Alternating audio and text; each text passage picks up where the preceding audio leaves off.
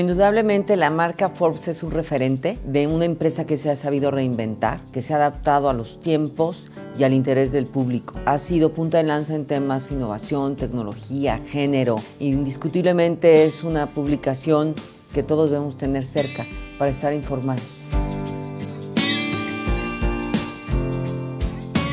Toca temas de interés para los negocios, toca temas eh, actuales y sobre todo desde mi punto de vista lo que ha hecho en términos de liderazgo y de género me parece importantísimo porque son pocas las publicaciones de este nivel de renombre que abordan estos temas.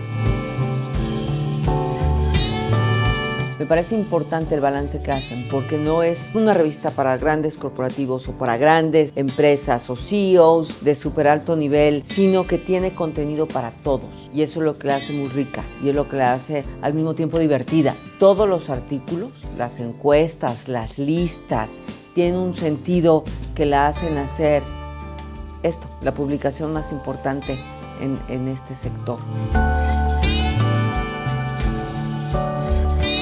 No me queda más que felicitar a Forbes México y a Forbes Latam por tres años de éxito, que no es fácil decirlo en un mundo que cambia constantemente, donde lo único cierto es la incertidumbre y donde la exigencia por ser competitivo y por posicionarse en la mente del lector es complicadísima. No es fácil lograr llegar donde Forbes está actualmente.